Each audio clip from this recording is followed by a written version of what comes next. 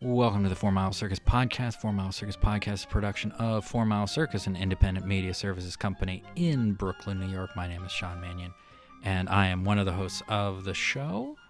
And I'm Nicole Solomon, the other host of the show, the other half of Four Mile Circus.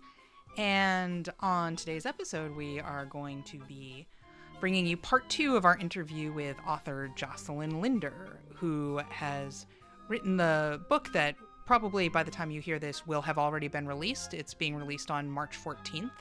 It is called The Family Gene, and it chronicles the effects of a deadly genetic mutation that's unique to her family, as well as her family's efforts to stop it. Um, so today we're going to talk to her about her life as a working writer. But first, Sean, Sean has a tip for us today. So, for this episode's uh, crowdfunding tip, as opposed to social media tip, like we usually do, uh, I thought I would offer a little advice on uh, making your crowdfunding uh, campaign more of a team effort.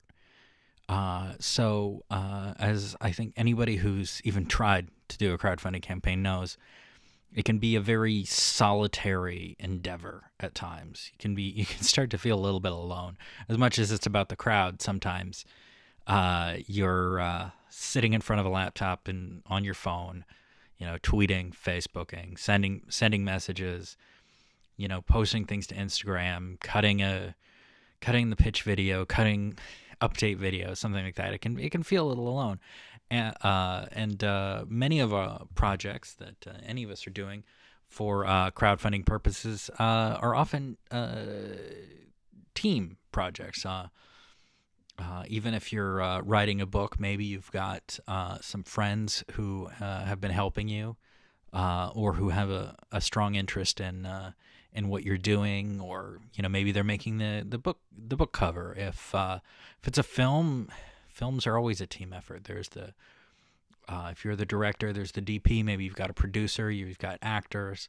Um, either way, whatever creative endeavor or other endeavor you have uh, that you're crowdfunding for, usually uh, there's some other people involved. And while uh, oftentimes one person will be the point person, uh, it's it's always uh, better to spread it around a little bit. Um, and uh, one way to do this is is to to make that part of your planning. one thing I did for the Time Signature crowdfunding campaign that I uh, raised money for a short film called uh, Time Signature on Seed and Spark back in 2014. Is uh, I engaged everybody who had already committed to the project, uh, all the actors, and uh, including recent uh, guest Hae-Yeon Park, and and the star of the film Kitty Ostapowicz, as well as um, just everyone who was engaged with what we were doing, and um, I clued them in on the plan. I had planned out tweets for every single day. I had planned of the 30 day campaign, Facebook posts for all of them. And I shared that with them. And I said, hey, here's something like it doesn't have to be difficult. It doesn't have to be uh, you figuring out how to share it or what to do. Like here it is, cut and paste. And that's that's the best thing to do when you're trying to engage other people to help uh, push a project like that is make it as simple as possible for them. Just make it a cut and paste. Make it give them a document, uh, and and and say all you have to do is on Monday, cut this out, paste this into your Facebook. Cut this out, paste this into your Twitter. Take this image, put it on your Instagram. What, Something like that. Some people will do it uh, every day. Some people will do it occasionally. You know uh, the point isn't that they're going to be as active as you as the point person, but that it's very easy for them to be active and that you can help them do it. Probably the one change that I would make to that particular strategy uh, that I took for that uh, for that uh, project was would be to um, instead of giving them a single document at the beginning of the campaign, uh, would be to simply maintain contact throughout give them give them things to share every couple of days, or maybe not every day, uh, but uh, but uh, some of them maybe every day. Like some of the people who who are who are. Um, it's not necessarily like a, a criticism uh, that they're they're not more engaged. It's simply the fact of life.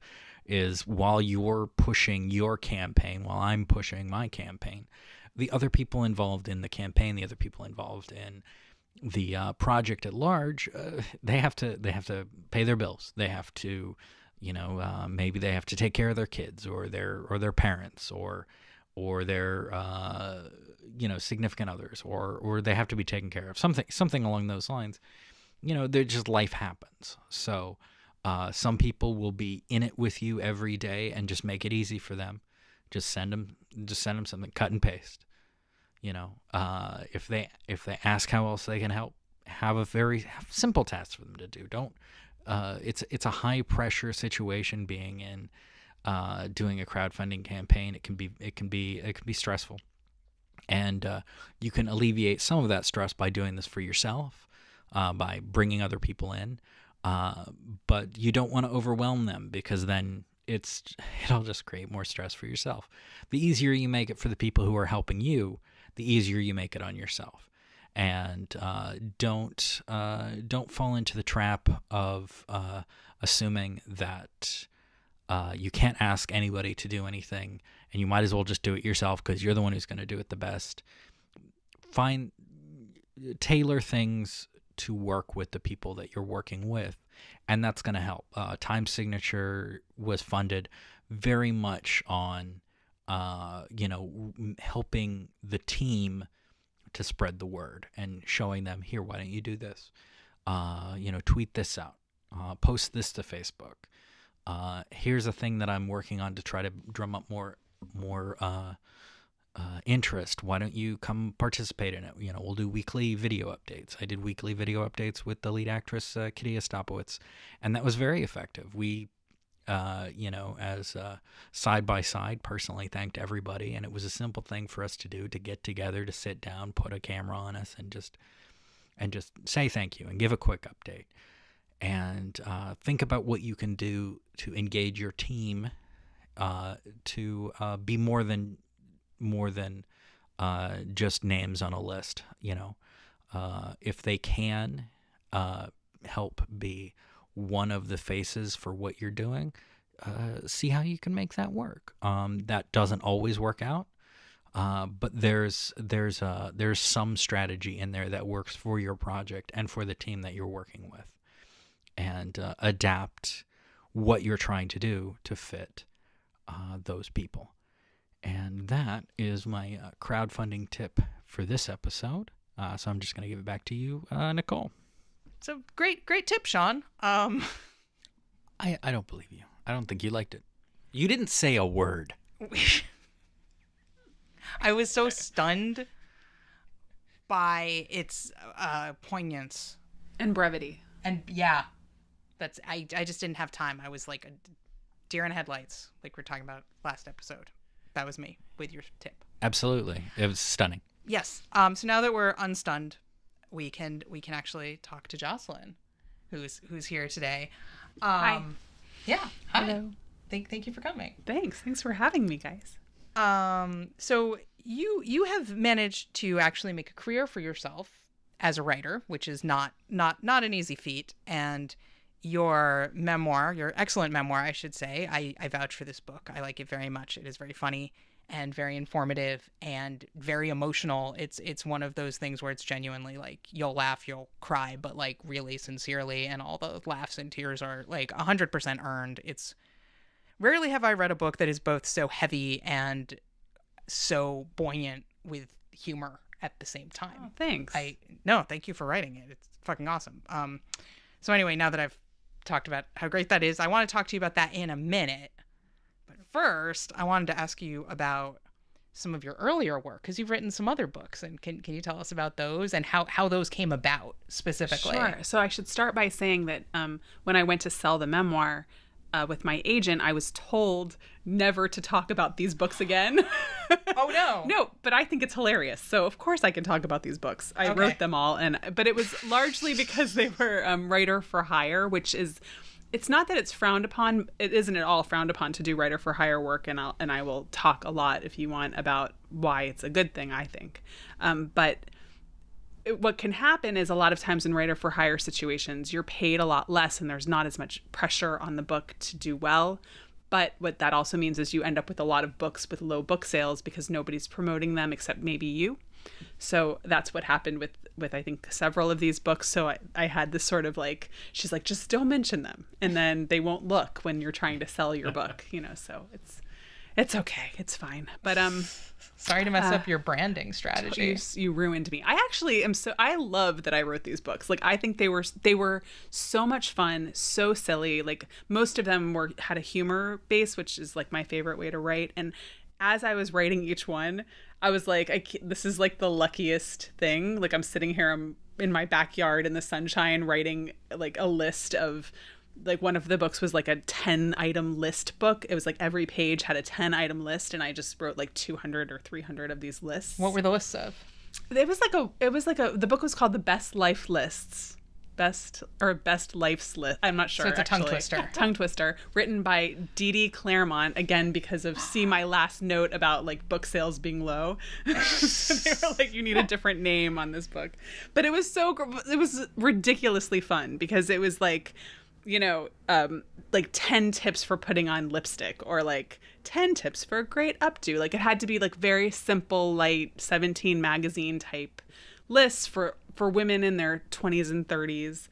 Um, yeah, so it was it was super fun. I mean, it was, it was ridiculous, and it actually got out of hand because at one point I was like just making crazy lists. It was so many lists that it, I I think I advised in one list how to travel alone, and then in another list I was like the ten best places to swim and like in, in the world, and then I included like some really like war torn dangerous river with like syringes somebody and somebody caught it. They were like i don't think that's a great place to swim. And i was like oh. i mean if you love danger it is. Yeah.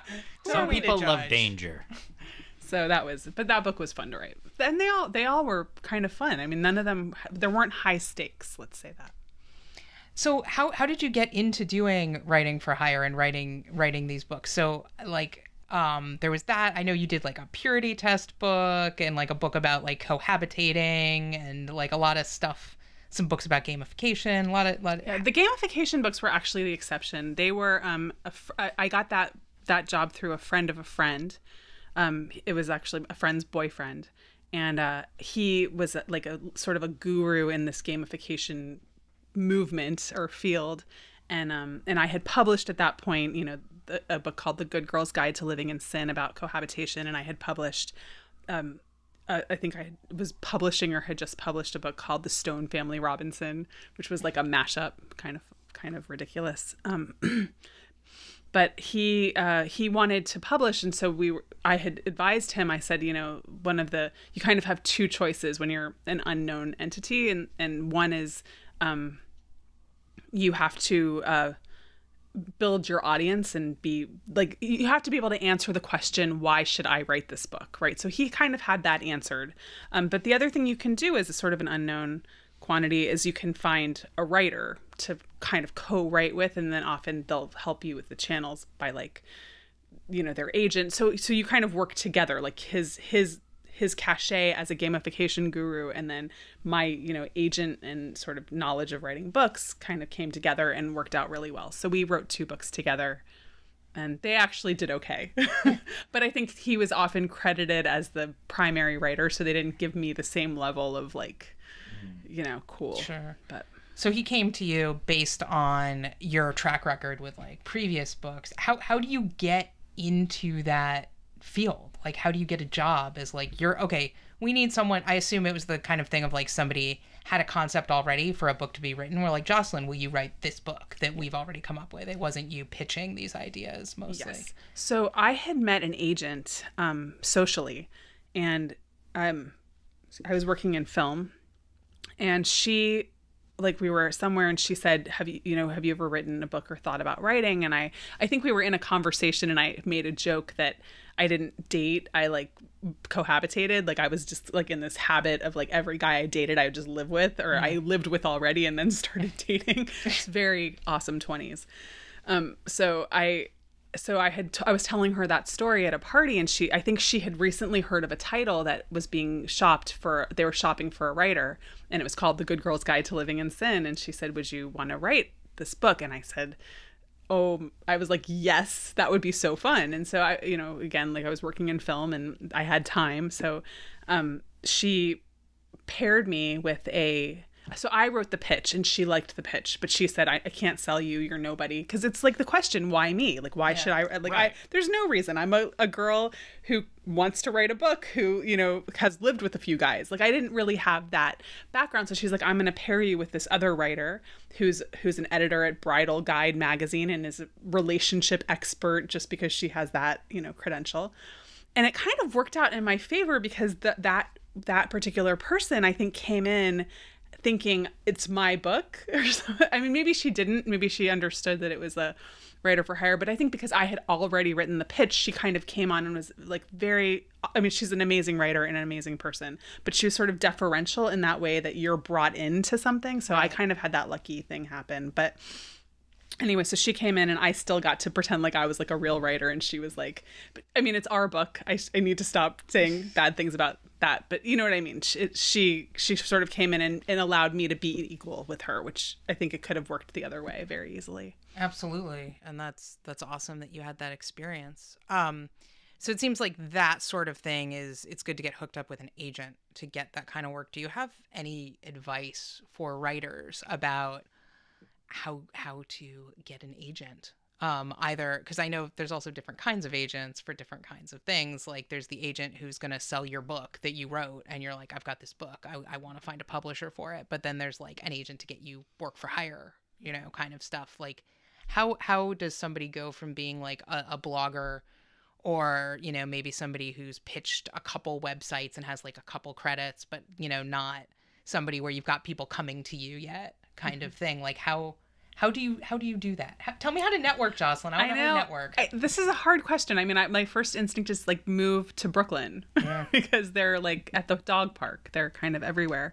But I think that um so stock the dog park. Stock the dog park. I mean, how, how many how many of them how many of them do I have to sleep with? Seriously. Like, I'm not saying that you did. I'm just saying like like I'm not a good writer, so, so how much of my body do I need to use? People. Okay, okay. Yeah depending on how good a writer you are. I mean, I'm pretty bad. 15. Do you really think that's going to help you though, Sean? just just genuine question. Maybe you should bake cookies. You're, you bake really nice cookies. I do. So maybe so go to the dog park with a bunch with, of cookies. cookies. They'd be like, "Hey, hey, are you an agent? I got a cookie for you," because that's not creepy at all. so I think it, if you anyway, if you are a writer and you are um, and that's what you do. If you you need a manuscript of some sort. If you are a person who has i think nowadays writing also or, or having a book can also be a part of a branding device is a if you're a business owner or you're trying to sort of be this expert in your field it often gives you a lot of clout to say oh i wrote the, this book yeah. about it and it's a good calling card. So there are people that are doing that much more than ever before. Um, and so in that regard you know I so for that one, I would say find a writer with an agent, and that's how you get an mm. agent. You know, sort of mm. sort of hitch your wagon. You know, and then that's a great way to do it. If you're a writer, you need to start with a manuscript, and you need to have or at least a really comprehensive, uh, fleshed out idea. If you're writing, so it's two things. If you're writing fiction, often it's um, you need a complete manuscript to turn in. If you're writing nonfiction, you need a, a, very well fleshed out idea or a pitch. So you can sort of see sample pitches online, or if you know anyone who's written them, ask to look at theirs. Um, but you know it's that's the kind of thing. And, and i think really certainly with the pitch one really ask yourself why me? Why am i the expert on this topic? I mean i'm not personally i am not a science writer but i am na- so now that i've written this sort of science-based memoir i actually can sell myself as a science writer because i have a science-based memoir. But the reason I can do that is because it's a memoir and I had a personal story that had these stakes that allowed me to sort of explore genetics and the history of genetics and the history of genomic medicine or genomic. We were talking before about how to say that word. I may have mispronounced it on the last episode. I'm pretty sure it's pronounced genomic. yeah, exactly. So anyway but you know the, so the whole point being that you sort of you have to know why you so that it is a really important question because it's really easy to be like i have an amazing idea about cheese that i want to write you know it's like great but why should I buy it from you? Yeah. and uh, that's going to be the question they're going to ask. So also, you know, building your audience, becoming a becoming a person that somebody wants to buy a book from, so you can take some steps earlier before you're actually in the process of getting an agent, or while you're getting an agent, start you know building those those things. Yeah, we talked about some of that in the last episode about how you can use social media to like build community. Um, blogging is another way that's like a f- uh, usually free way that you can start getting your writing out there and build an audience for your writing. And that's a thing I assume you can take to an agent or if you're writing up a pitch or whatever, be like, I, you know, my blog attracts however many unique visitors a month. So like those are all potential, you know. Yeah. People, or I assume that increasingly people want to see social media numbers too. That's what Oh yeah, that's what people people have been telling me. Um so yeah, so uh, you were saying that you think being doing writing for hire is a good move even if like sometimes it's seen as like not the branding uh best thing. That's a sentence that I came out of my mouth. So maybe may- maybe maybe writing for hire is maybe not the the best thing for branding, but you don't necessarily think that. Is that kind of what you're gonna? I don't Yeah, what do you think for- is good about it? Because I don't were think it's bad for branding. That's different because that's okay. your audience. I think it's bad for industry, right? So for Gotcha. like if, if if the publisher goes to check your numbers and they suck, that is not good for you when you're trying to sell a book. Right, and that's something you don't necessarily have much control over, or doesn't. Yeah. It's not your fault. Somebody, Right. but so that's it. And I don't think it's going to Im- it can't really impact you negatively unless you're really verbal like you're, unless you're going to be running around like I wrote you know because you can always do the job write the book put your name on it or not and then um and then just like don't men- if it doesn't do very well just don't bring it up when you're trying to actually sell something for a lot of money just don't mention it and it's okay that it exists it's just they don't want you to you know for them it doesn't make any sense for you to tell them about it it's that just like that makes sense. Um, so you were saying earlier that like you you would be happy to talk about some of the reasons you think it is a good thing for writers to do, and you're in favor of it. So I was wondering about what you think some of the advantages of going in that direction, if or under what circumstances which writer profiles say might choose to do that rather than investing your time and energy into I'm going to write and refine an original manuscript and try to sell it. Instead, try to find like pre-existing projects to get hired to write for. I can think of some reasons why I think it's a good idea, but I'd rather hear from someone who knows what they're talking about. I mean, yeah, I don't. I, I mean, they're probably the same, but I think, um, you know, I think first of all, anytime you're doing the thing that you want to do for money, it just feels really good. And I think, you know, when you're writing for hire, you're certainly giving up creative control in the sense that you're you typically told the like what you're basically writing you know so you kind of but but often you have your own control within that form that structure but you know you have to sort of give up the bigger you know creative control like for example i i when i wrote the stone family robinson um i i was given a horrible manuscript like some translation that was like from 1942 or what it was so old and it was so verbose and really complex and i was the my job was to go in and change the actual text and and write this. And by the end i had just scrapped it and was just writing my own like like the disney like movie version of this book because it was just such a tedious slog to get through this horrible manuscript that they gave me. So but and i just didn't mention it. So when they were reading the first you know probably four or five chapters were this horrible manuscript. Sorry it's a decent book parts it gets really good toward the end i think. And then and then it just you know then I, I just gave that up. So i figured they didn't even really notice. Nobody really cared that much but you know so you do how you give up some creative control but ultimately you're getting to do this thing that you love. And then i think also um you know, it gives you an opportunity to sort of test some waters. So, for example, when I was doing the gamification books, I did two, and a list came out um, like a year later or within the year that the second book came out. And it was like the top 100 influencers in gamification. And I was number 98. I was 98. No, that's fantastic. It was the coolest thing ever. So then I was like, I'm going to be a gamification expert because I thought that I could parlay this into like a career. I could like write more books about it, maybe even develop games, like, you know, really just make this a thing. And that lasted for like a second. I think you know one of the games I, do. tried to develop. No, it was a good. It was it was a good idea. It just I was like trying to gamify like falling in love or gamify like losing weight. I thought like we could develop like a card. You know, it would be actually everyone said it would be good for an app. Like it would Yeah. anyway. we can eh, if anyone wants to reach out to me we could totally discuss this further i have some more ideas with the gamifying of of life Are you telling me to wrap it up, Sean? I'm sorry. Yeah, I've blown I was your signaling cover. like I was signaling Our like we talked about. But you said you were So going to do this, and you pointed there, and I'm like, is there a fire in the other there room? There is a fire in the other room. Okay, so we need to. Can Can I ask Joselin one more? That's what I was saying. Yeah. yeah. Um. I, I a little left field now. Um, but so you're a very prolific writer. You're writing all the time, or you're rewriting, and it's not writing and revising are kind of two different kinds of processes, which we've talked about outside of this podcast recently on our writing group listserv. But um, you're doing all that stuff a lot. I have a problem a lot where I am like, I need to write, and then I have a massive like anxiety attack basically, and my whole brain freezes up, and I'm like, the creativity is gone. I am removed from the source of inspiration, and never again shall it flow. Like that's how it feels basically to be in my head. Um, I assume you feel similar feelings sometimes too, because I think most people who do creative work do.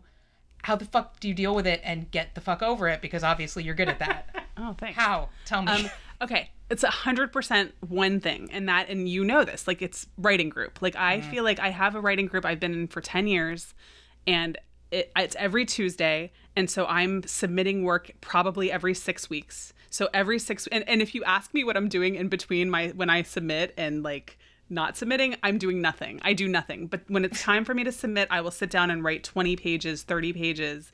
And because of that, in 10 years, I've written three novels, one like memoir, plus, you know, tons of short stories and essays. And I've just, because I have to submit, I have to write something, and it keeps happening. So I think that having that culpability is the thing. Because I think anytime you say to a person, and people say, oh, it's because I'm too busy or I have eight kids. But if I said to you, like, you need 10 minutes a day to sit down and write one page a day, and in a year you'll have a book, like we've all heard that nobody does that. Like nobody's like I'm going to dedicate 10 minutes a day. They're like going to get in bed and watch Netflix or go to sleep. Like nobody has time. So that's not you can't can't be like that. You have to have, you know, in our case six other people that care if you don't submit and that makes you have to do it. And so that I always say that to people like get a writing partner, just a person who you're culpable to or a group of people that you that you have this responsibility to and then take it seriously. Like don't let yourself go ah like uh we you know we'll just let this go. Like we none of us let it go. If it's tuesday night we go to writing group we show up and we have work. And if you we say we're gonna go we it, i don't know i could count on literally a hand in 10 years the number of people that have backed out like the week they're supposed to go because we don't allow that in our writing group. Yeah. and so it's like if you say you're going you have to go which is why people are nervous to say they're going but but they do because they also know if they say no too many times then we'll start to judge that. So you know and i love that accountability. I think it's vital in a, any creative process if you don't have a job where you're expected to write or have a deadline. So that's my that is my solution and i promise it works Yeah, and I think I think having in-person meetings is better, but if you're cuz I have talked to people who are like I wish I could have that, but I'm in a town where like I don't know other writers, I don't know how to make that get going. And it seems like you can do that virtually. You can have like somebody cuz it's about the accountability. So if it's like, okay, we're two of us, you know, we're going to get a group of 6 people who live in 6 different cities and once a week um, two of us are going to email something to everybody and we'll read it and we'll give you notes. Like you can do that. It's not, you know, it loses something that you get from the in person interaction. But so for listeners at home who are like, that's great, I don't live in Brooklyn, like you can modify that because mm-hmm. the bottom line, it's about having people you have to answer to, right? Mm-hmm. Mm-hmm. To like put muscle behind that deadline. Because if it's just, and I've tried to do the like, I'm going to, recently I was supposed to write a page a day and have a screenplay written by now. And that Yeah, where's my screenplay? yeah, that hasn't, that hasn't happened. But if, it, yeah. But Nicole has never said she was going to submit and then not submitted. And oh, we've been doing this. no. We, you and I have been doing this together for what, five, four years, five years? Five years, I think. Yeah. It's So I mean, it's. time. I don't know. No, I do it. If I have a deadline, I meet my deadline. It's true. That's why I'm sometimes am like you said, nerve being like, I don't want to go next week because then I know I'm gonna have to do a thing. But I, that's an excellent, excellent piece of advice for everybody. Um, and I wish we could talk about that longer, but Sean wants to play a game. I want to play a game, because Sean doesn't have the attention span for this writer. but it, it's a relevant game. It's a literary trivia game. it's very specifically. It's called. I'm calling it Uncle Sean because because on Twitter and on Instagram and such, I am Uncle Sean. Um, Uncle Sean's literary trivia because the trivia is about literature, but it's also a little bit about me because uh, I have a degree in literature, so it's so That's it's true. relevant He's not. this. I thought he was pulling my leg the first time I heard that, but no, No, it's, I have it's, a I it's have a, I have a diploma for something and everything. I mean, it's arguable whether or not it's from a real school, but um, so uh, are are you guys ready? I guess. there are multiple choice know. questions. Uh, so you know, there's uh, four choices for each one, so it's a 25% chance you'll get it right if you guess. guess. Uh, actually, probably the numbers on that are different. There's probably What there's probably a whole math the thing. do the thing? Uh, no, I want to talk about math. okay, so first question. Are you guys ready? Yes. Which of these William Faulkner books have I read? Awesome. The Sound and the Fury, Light in August, Garbage Pail Kids, the movie official film novelization, or none of the above. So that's I'm going D. D, none of the above. I'm I'm going with A. You're going to go with Sound A, The Sound and the Fury? All right. And the answer is D. I've only really read his short his short stories. I have The Sound and the Fury. I've started The Sound and the Fury. Is I Lay Dying? Is that that's Faulkner? That's my that's my only think so, Faulkner I, yeah. think I've I read. believe so. I'm ignorant about literature. I went to an alternative school and took classes like films and books where we read ordinary people and then watched ordinary people. As I Lay oh. Dying is really good, but you know Faulkner. I, I I've read Rose for Emily. That's Faulkner, right? It's about the dead lady with the with the with the dead lover. No. It's very exciting. Okay, so question two. Uh, which classic science fiction novel did I write a paper write a paper on comparing it philosophically to Heart of Darkness in my history of criticism class? A. Stranger in a Strange Land. B. Do androids dream of electric sheep? C. Ender's Game. D. None of the above. I gotta, you know, the the second one was Philip K. Dick, Correct. and that's that's what what was Blade based on that Blade Runner. Basis for Blade Runner, yes. Okay, I'm gonna go with the the Philip K. Dick. Okay. I was gonna go with um, Heinlein, Stranger in a Strange Land. Okay. Okay. And uh, But I love Ender's Game, even though I- he's I a haven't- I Mormon. haven't read it. Yeah, I he's I, so I have weird. friends who.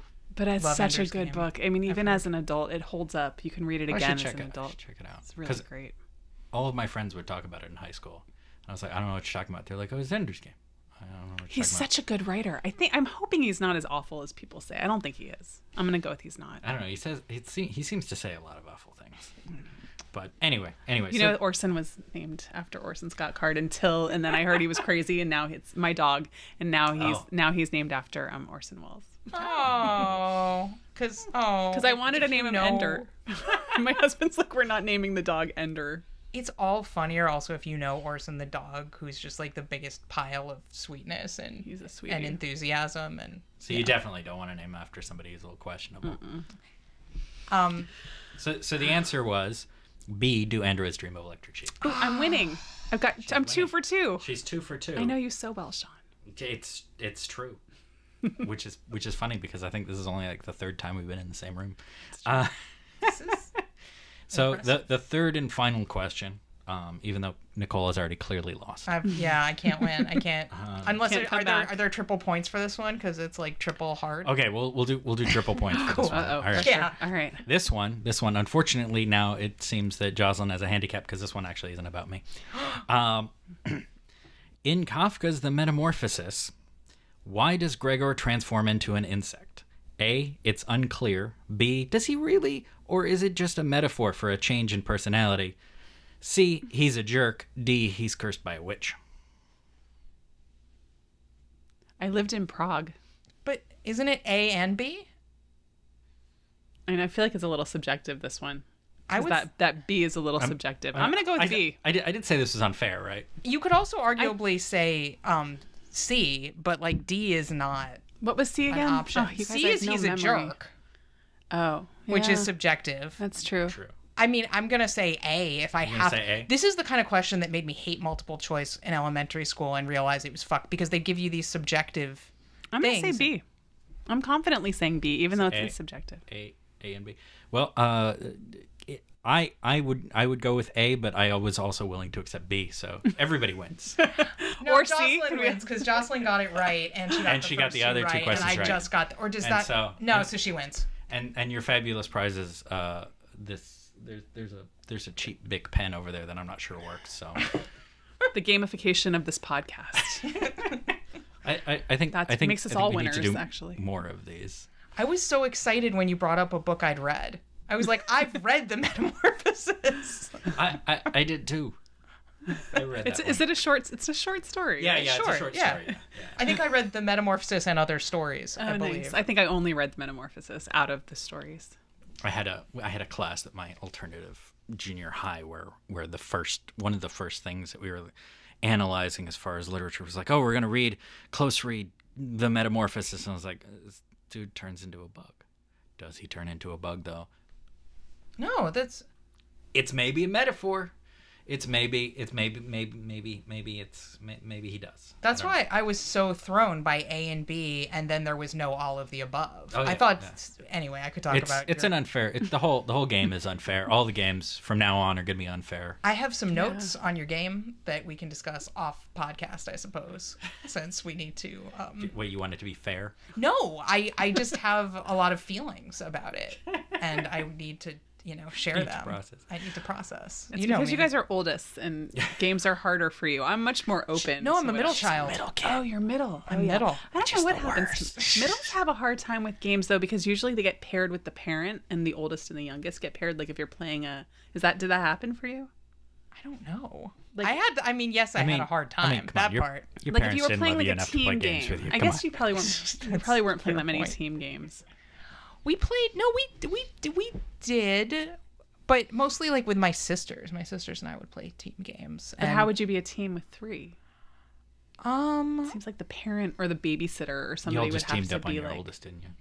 no? Usually it was either it was. I, it, we're not going to go here. I could tell you about how it was, but there's there's a lot to say. I want to say like um there was a lot of bending of rules. Maybe somebody was paired with a you know a stuffed animal or something like that. Maybe Oh, things well, like that cute. happened.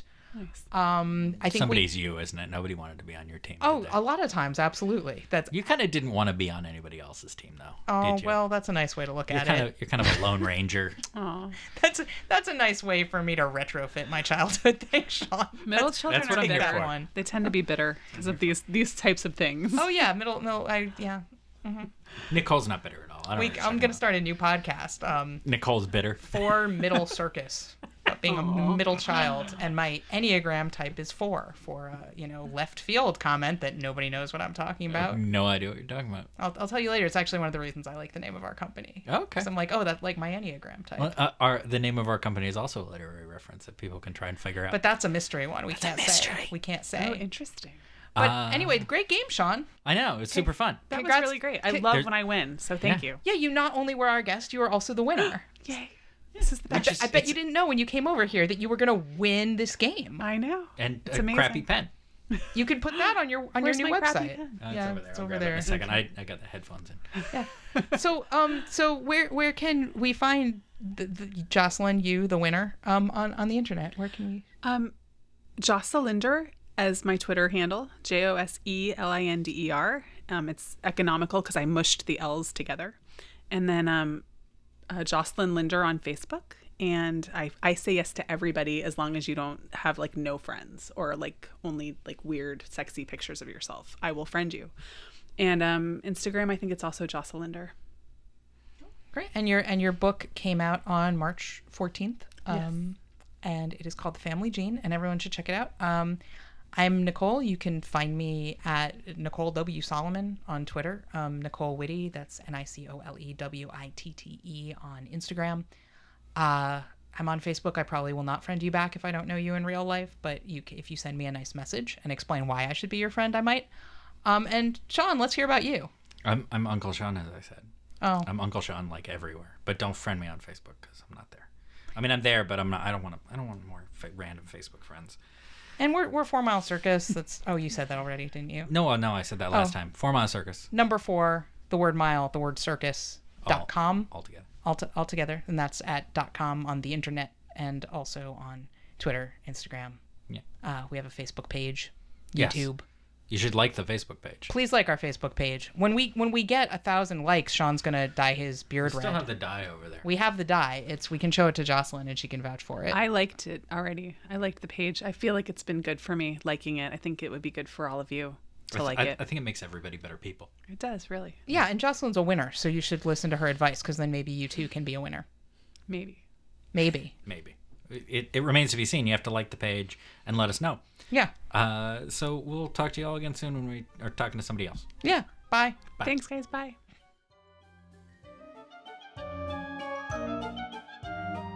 If you like what you heard, please subscribe on iTunes or your podcast platform of choice and check out other 4 Mile Circus services and projects at 4milecircus.com as well as 4 Mile Circus on Facebook, Twitter, and Instagram. Watch our first VOD release, Nicole's award-winning feminist phone sex horror comedy Small Talk at 4milecircus.com slash store